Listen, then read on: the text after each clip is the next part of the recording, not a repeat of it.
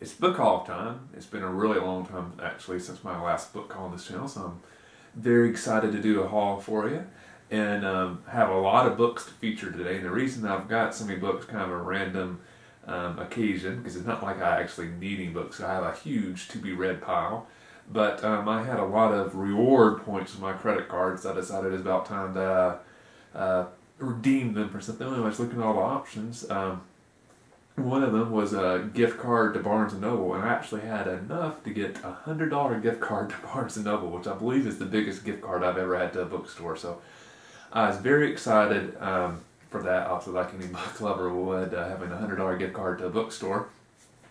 So what I decided to do was to mainly um, get books to finish out series that I'm currently reading. Because a lot of times when I'm reading a series, I might just get one or two books at a time in that series and, you know, slowly finish out the series that way.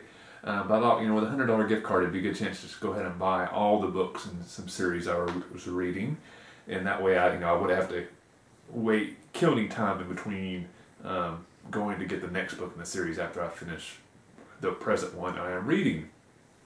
But um, the gift card is actually big enough that I was able to get a few standalone books as well. So here is my um, Barnes & Noble book haul video. So first off, I got uh, a Game of Thrones, which I already had this book and I've read and really love it. But um, the version I have of the book was this bigger paperback version, and the um, other uh, books I've got in the series is all more in the smaller paperback version. So I decided to get the smaller paperback version, and I'm going to get rid of this one. So I'm really OCD about that, liking all my books in the series to match up. So this one is actually the only book that I got at the Barnes Noble uh, today that is actually one I already had. So that's the only occasion that will happen. But um, much like I mentioned um, earlier about trying to finish out the series, there's um, the other books I got in this series are the ones I haven't read yet. So um, in no particular order, this is the order they were stacked up. A Storm of Swords, A Feast for Crows, and A Dance with Dragons. So I'm um, very excited to um, read those books because so far I've really enjoyed the series a lot. Next up, I have the last book in the Forgotten Legion series by Ben Kane, The Road to Rome. Really enjoyed the first two books in the series. It's um, kind of um, follows the storyline of a couple low-ranking soldiers in the Roman army as they um, go through some adventures.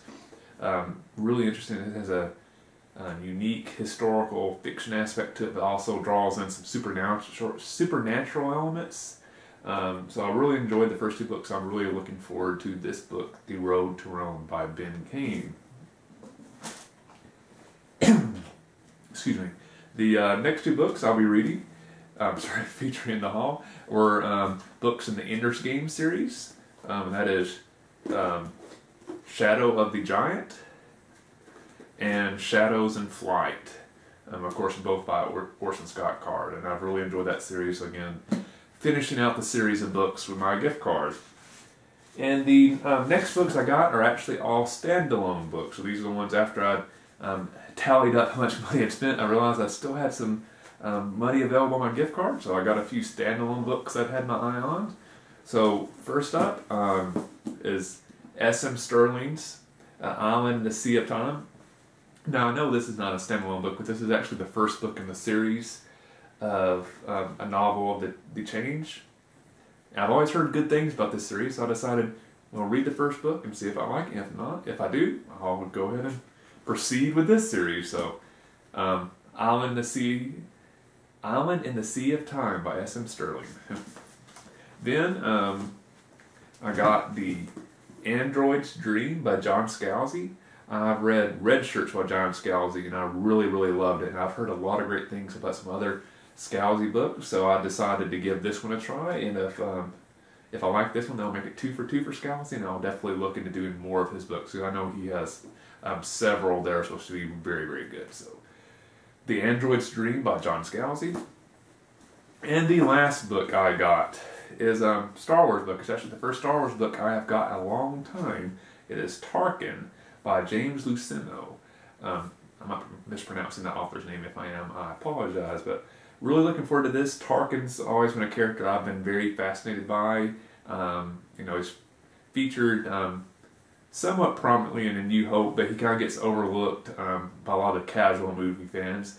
And in some of the um, expanded universe books, um, Tarkin's a character, and I've always enjoyed it when he's an element of the story. So um, I was very um, interested in reading a standalone book about this character I found interesting, but has never really got a ton of solo focus. So looking forward to this one. Hopefully that is a good book.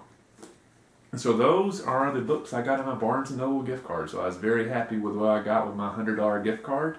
Um, ended up, after all those books, um, all I really owed um, was, because I think before tax it was like $99 or something. So I ended up and only had to pay like $5.89 for all those books.